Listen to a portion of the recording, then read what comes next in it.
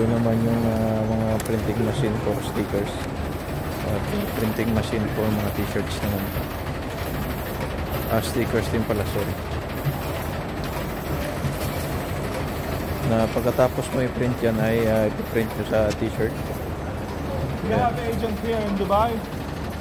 No yet. Oh, yeah. You interested? Soon we'll have one. Huh?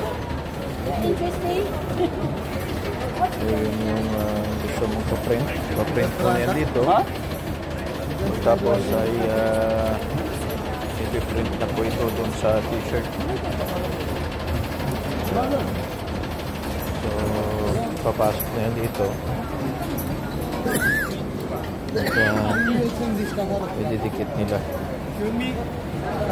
Yan. So, papakita nyo paano yung didikit yan. Yan.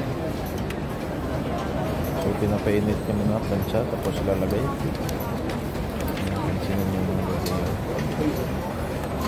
niya gawin? So, yan yan. So,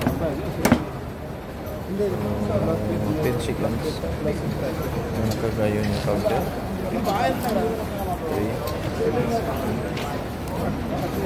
Zero. So, yan. So, kita nyo yung ah, So, tanggalin na yung plastic. Ayun na. Wala. So, yun na yung kanyang uh, napakaganda. So, hindi mo ma ano yung kanyang uh, kulay. So, yun yung uh, kung kailangan mo ng printing. Yun ang pagkaganda. Yun yung uh, okay.